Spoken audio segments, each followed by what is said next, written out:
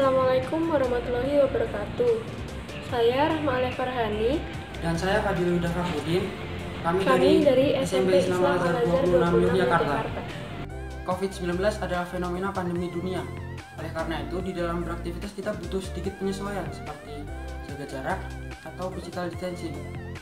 Di dalam penelitian kami, kami ingin mengetahui berapa jumlah pelanggaran physical distancing di Jogja melalui rekaman CCTV.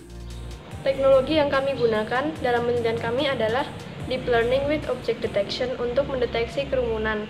Kami harap penelitian kami menjadi pertimbangan bagi pihak berwenang untuk mengambil keputusan terkait COVID-19.